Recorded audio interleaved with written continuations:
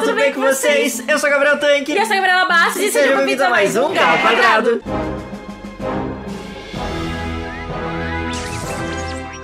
A série House of Dragon, feita pela HBO Max, que é um spin-off da série Game of Thrones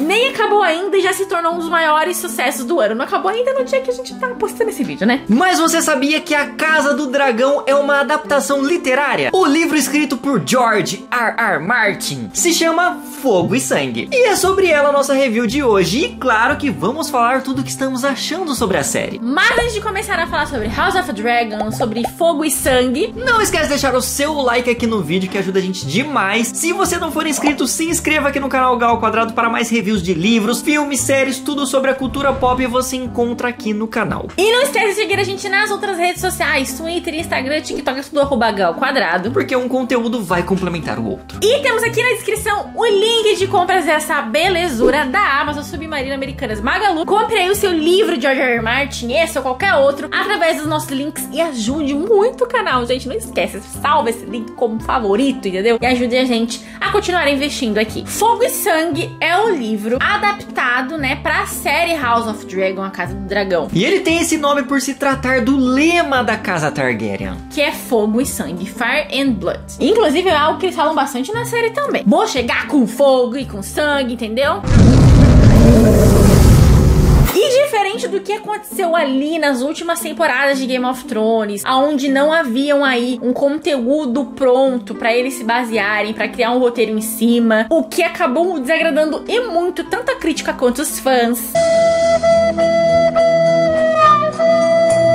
House of Dragon vai mostrar a ascensão da casa Targaryen e também o seu declínio após a Dança dos Dragões. A Dança dos Dragões é uma guerra civil da própria casa Targaryen. Sabe aquela briga de família disputando o terreno, terreno da, da família? Pois é. Disputando a herança? É basicamente isso. Só que com muito dragão, gente. E essa disputa fica entre os meio-irmãos Rhaenyra e Aegon II, que acreditam ter direito aí ao Trono de Ferro. Esses relatos, então, estão aqui nesse livro, porém num formato diferente do que a gente encontra no livro original ali de Game of Thrones, que são as Crônicas de Gelo e Fogo. Que ao invés de a gente ter a história ali completa, né? Com começo, meio e fim, a gente tem um um formatinho diferente. Que você vai encontrar relatos de um mestre. É, um mestre lá da cidadela que tá contando aí sobre a dinastia Targaryen. E isso vai deixar a leitura bem interessante, porque a gente não tem uma única visão dos acontecimentos, a gente tem vários relatos do mestre, de pessoas que disseram que ouviram ou que disseram que viram. Então, às vezes, você tem até mais de uma versão da mesma história, o que é muito legal, porque você pode escolher qual você acha mais verdadeira? Séculos antes dos eventos de A Guerra dos Tronos, a Casa Targaryen, única família dos Senhores dos Dragões a sobreviver à destruição de Valíria. Tomaram residência em Pedra do Dragão. A história de Fogo e Sangue começa com Eledar Aegon, o Conquistador, criador do Trono de Ferro, e segue narrando gerações de Targaryens que lutaram para manter-se no poder. E mostra também as consequências da Dança dos Dragões. Então vamos lá falar dessa edição que a gente ganhou da Suma, né, que é o atual atual selo de George R. R. Martin. Antigamente ele era publicado pela Leia aqui no Brasil. Tanto que vocês falam, ai, faz review das crônicas. Gente, a gente tem edição antiga da Leia. E Alô, Suma, Companhia das Letras. Estamos Se mandar os nossos livrinhos aí, a gente faz review. Provavelmente revisaram do jeito deles. Então é muito complicado pegar uma edição que nem tá mais em circulação e fazer review pra vocês. Mas essa aqui é bem atualizada. E eu fiquei muito feliz quando a Suma mandou ali pra gente de verdade. Porque eu adoro fantasia. Eu amo as Crônicas de Gelo e Fogo, todo esse universo aí que o Martin criou. Pra mim, quanto mais complexo o universo, melhor. Pra mim, se tem dragão, eu tô gostando. I didn't see that in the script. Was he supposed to um, knock me over? Então vamos falar da edição em si. Faz tempo que a gente não faz de um livro único, né, Gabriel? Ele tem uma capa bem bonita com esse dragão soltando fogo aí no centro. Sim. Ele não é capa dura. É, se não me engano, é o próprio. É isso mesmo, é o Egon Conquistador que tá aqui nessa imagem. É legal que a capa tem soft touch, então ela é maciazinha. Sim. E o nome do Martin como título do. Gente, eu adoro. Que assim, o cara. Ele é tão brabo que o nome dele é maior que o título do livro. E aí ele tem esse relevinho e é dourado também. Aí a gente vai pra lateral, que é né, simples também. E eu gosto quando a capa ela é uma continuidade da ilustração. Então ela continua, né? E aí nós temos o nome do livro, que é Fogo e Sangue, e o nome de George R. R. Martin. Na parte de trás a gente tem um breve resumo do que a gente encontra aqui nesse livro. Temos mais dois dragões, que provavelmente são as irmãs esposas aí de Aegon. E esqueci de falar que na capa tem o Balério, Sim, lindo, maravilhoso. É, o maior dragão aí que já passou em Que Westeros. tacou o terror na, em Westeros. É, e o fogo também, né? Bastante fogo. O terror e o fogo. E eu gosto muito das ilustrações. É, esse livro é ilustrado, a gente vai mostrar pra vocês. Aqui dentro, então, a gente já tem uma orelhinha. Ele não tem folha guarda nem nada, mas já começa aqui, ó, com o símbolo da casa Targaryen, que é esse dragão aí com três cabeças. Tá aí uma tatuagem legal de fazer. Uhum. Essa edição possui sumário, O que é muito legal porque você pode ver os trechos da história de Westeros sem necessariamente precisar ler o livro todo e é isso que a gente vai comentar. Página que você aí quer ler correndo antes de pegar spoiler da tá série sem House of tempo, Dragon. quer saber o que vai acontecer na série? A gente vai contar daqui a pouco pra vocês qual página você precisa ler que vai contar a história da Dança dos Dragões. E assim a gente passa o sumário, nós temos então uma história Targaryen de Westeros, volume 1, ou seja, teremos mais volumes dessa história. George R. R. Martin diz que já está escrevendo ela, inclusive. Só que ele também tá escrevendo esse e mais outros 30 livros, né? Então, mas só pra você ter uma ideia, esse livro, ele foi anunciado depois do, do- desse livro de Game of Thrones que tá atrasado aí, que é Os Vendas do Inverno, se não me engano, a tradução em português. Foi anunciado depois e saiu antes. Então, Acho que tava de saco cheio de escrever sobre Game of Thrones. Ele fez esse Snow. daqui, é. Vamos falar um pouquinho de dragão, falar do Aegon. E é uma leitura muito divertida. Tirando os desastres aí, As né? As mortes. mortes e tudo mais. Porque é muito mais dinâmico. É, eu gostei muito dessa leitura. Pra mim foi muito mais rápido do que ler as crônicas. E me lembrou muito o jeito que ele escreveu Duncan que é o livro de contos, que passa ali no universo das crônicas de Gelo e Fogo. Conta até sobre um Targaryen também, muito importante da história. Porém, é uma leitura mais rápida, flui muito bem pra mim. Acho até por ser contos, uma hora você tá num tempo da história, na outra você já avançou mais. Enfim, eu gosto bastante. E foi isso que eu senti aqui, fluidez ao ler essa história, porque é várias informações ali passando. E uma coisa que eu percebi que você gostou bastante é que tem bastante reviravoltas e plot twists. Exato! Uma página tá acontecendo uma coisa, você já vira ali na outra, entendeu? Fala, meu Deus, o que que tá acontecendo aqui? Aí temos uma ilustração. do mestre que escreveu então esse livro pra gente. E já começamos então com a história de Egon o Conquistador. A diagramação aqui do livro, eu achei a fonte um pouquinho pequena. Uhum. Olha só, ela é meio pequenininha. Vou passar um pano para essa diagramação. Ah, Primeiro, porque eu li e não me atrapalhou Ah, o então tamanho. tudo bem. Mas o que eu quero explicar pra vocês? Se eles me fazem um livro menor, porque esse livro é um livro grande, É. pros moldes que a gente tem aqui na estante, ele é um livro grande. Você pode perceber que a diagramação, embora a letra seja pequena, ela ocupa praticamente a página sim, toda. realmente, olha. Isso ajuda porque os livros do Marte, gente, são calhamaço. Eu olho para aquelas crônicas que eu preciso terminar de ler e me dá sono automaticamente. Esse livro aqui, nessa diagramação, que eu acho que é algo que eles trouxeram até pra edição deles agora das crônicas, me agrada. Porque a leitura, assim, parece que anda um pouquinho mais rápido. Então a fonte está um pouco pequena, porém não atrapalha na Né, leitura. não atrapalhou. Eu até que curti. E é o que eu falei. Ela é um pouco menor, mas beneficia. Porque se eles pegam isso e condensam num livro com mais páginas, só pra deixar a escrita maior, Não vale a pena. não vale, dá um desânimo. Ó, então a qualidade da folha é boa. Muito boa, não fica transparente do outro lado. Ela é off-white, então dá conforto na hora da leitura, e você vai encontrar diversas ilustrações no meio do livro. Mais de 80 especificamente por Doug Wiley. Muito legal as ilustrações. E é assim, você tá lendo bastante e tal. Tá todo imerso na história, nos plot twists. Do nada, uma ilustração muito legal daquele momento épico. E é muito, muito bom. E o Gabriel abriu uma ilustração que não podemos colocar aqui. Que senão seremos o quê? Desmonetizados.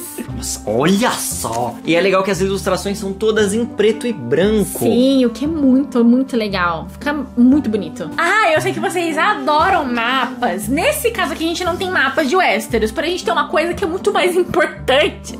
Que é pra Para você de não ficar perdido na leitura. Que é simplesmente. A linhagem Targaryen. Sim, né? A sua árvore genealógica, digamos assim, o que é- ajuda bastante na Então tem leitura. o nome de todo mundo, da onde veio, quem que é pai de quem, quem que é tio de quem, quem é filho de quem. É, ou na verdade é quem é. Tipo, é bom que assim, casa já com, com a familiar, já dá uma resumida ali na árvore genealógica. Imagina se casasse com um só Nossa. terceiro. Gabriela Bassi tentando achar um ponto positivo na. Como é que é? Quando você fica com o irmão? Na... Sexto. No sexto Targaryen, entendeu? Pelo menos pra uma coisa tem que servir, né? E antes da gente começar a falar da série, o que a gente tá achando dele enquanto adaptação. Não esquece de deixar o seu like aqui no vídeo. Se você não for inscrito, se inscreve aqui no canal para nenhum dragão aparecer na sua janela e soltar um Dracarys em você. E aqui na descrição você vai encontrar nossos links de compra aí do Fogo e Sangue. Compre através deles, ajude o canal. E também tem o nosso link aí para o nosso grupo no Telegram, onde a gente compartilha descontos do Mundo Geek com vocês também. Então entre lá. Aí você fala, nossa Gabi, você falou de não pegar spoiler? Gente, vamos lá. Vamos combinar que a noite é fria e cheia de spoiler. Já dizia o meme de Game of Thrones. Então, o que aconteceu? Assim que saiu o primeiro episódio de House of Dragon, aquele burburinho, aquele sucesso, aquele episódio incrível, o, o que começou a acontecer? As pessoas começaram o quê? Os engraçadinhos começaram a soltar spoilers no Twitter do que acontecia no livro. Não só no Twitter, em todas as redes sociais que vocês imaginarem. Até o meu amigo, o Sr. Douglas, pegou e me mandou um vídeo do Joffrey contando a história dragões, dragões tudo pau. Falei que ia ficar difícil os dragões aqui. Contando a história da dança dos dragões e eu tô, quase tomei um spoiler ali de tonta. Ai, deu uma revolta, assim. Então, ao invés de você pegar um spoiler do Zezinho do Twitter, você vai pegar o livro e vai você mesmo descobrir o que vai acontecer. muito mais emocionante, entendeu? Porque se aparecer aquele amigo que tá muito curioso e não quer esperar a próxima temporada, você vai poder contar o que vai acontecer, o que é maravilhoso também. Então, aí eu fiquei com tanta raiva que naquele instante eu corri lá no quarto e catei meu fogo e sangue e comecei a ler. Porém, eu tava muito afobada pra série, eu queria ler as, os acontecimentos ali antes, né? Pra poder comparar, falar mal, aquela coisa que todo leitor adora, né? E aí, gente, gravem a seguinte página. Pra quem tá sem tempo, tá corrido, não consegue pegar começando lá da conquista do Aegon, então você vai começar pela seguinte página. Para os apressadinhos. Ó, e corre que dá pra você ler antes de acabar a temporada, hein? Porque, olha, vai acabar de um jeito. Então você vai lá pra página 289. O nome do capítulo é Herdeiros do Dragão. Uma questão de sucessão. Porque ali vai abordar toda a questão de sucessão do Jaehaerys Targaryen e de sua esposa Lysane. Olha, se você está com pressa, você vai pular esse tanto aqui. Eu prefiro ler, ter a minha experiência de leitura, do que ser estragada por um spoiler do Twitter. Até porque eu já tinha uma breve noção de que seria uma história que demoraria anos para ser contada numa série. Então, uma hora, eventualmente, eu ia pegar um spoiler. Então eu falei, cara, prefiro ler de verdade. Porque, vamos lá, dois, um ano e meio, dois anos para produzir cada temporada. E é o que acontece naturalmente. Sai um livro, você lê, e depois vem a adaptação e você compara para poder falar mal. É o ciclo do leitor. Só que aí, gente, eu comecei achando que eu ia, sei lá, ler um terço do livro apenas. Eu acho que ele três capítulos ia acabar. Porém, a história é muito interessante, então eu já li, sei lá, mais de um terço do livro. E eu tô muito animada com essa da história. Você leu 100 páginas. Só?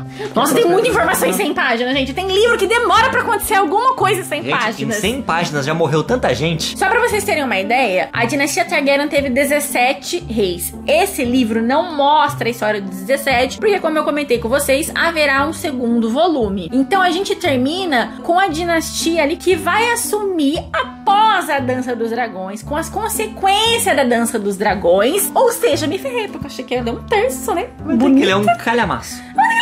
Metade do livro, mas tá tudo bem, porque a parte que importa, eu realmente eu já consegui ler só nessas 100 páginas. Eu acho que eu já tô aí na terceira temporada de House of Dragon, pelo menos. Então é bem legal, eu tenho certeza que vocês vão amar. Enquanto a adaptação, eu tô curtindo bastante. O que você tá A achando série da série? está maravilhosa. Eu estou. É a primeira vez em tempos que eu fico feliz quando chega domingo. O problema é que tá tendo muito salto temporal. Teve até uma, uma entrevista dos showrunners dessa semana. Eles falaram que eles julgaram melhor ter esses saltos pra que não ficasse muito tempo sem acontecer absolutamente nada. Entenda a decisão deles e tudo indica que o último salto temporal vai do sétimo pro oitavo episódio, que depois não haverá mais, né, ao decorrer das temporadas. Mas Eu realmente- espero que sim. Esses saltos estão deixando a série mais. Não, ela tá com bastante ação. Mas aí acaba prejudicando alguns personagens, como por exemplo a, a, né, a esposa do, do Daemon, que é a, a Lena Targaryen, que é super legal nos livros E e, foi um pouco ter injustiçada. desenvolvido mais a história dela. É, pois é, enfim. Sem muitos spoilers aqui. De resto, eu tô curtindo bastante.